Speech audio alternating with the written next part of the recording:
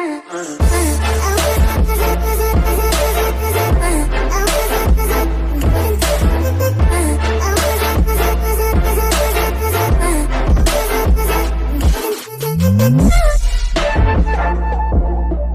hey, what's up, buddy? How are you today? I hope you're doing very well. Then in the comment section, and today I'm back with another interesting story, and this is going to be one shot, and the topic is neglected Deku is dead.